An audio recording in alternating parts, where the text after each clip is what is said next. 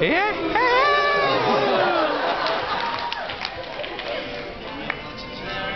no countries. It isn't hard to do. Nothing to kill or die for. And no religion too.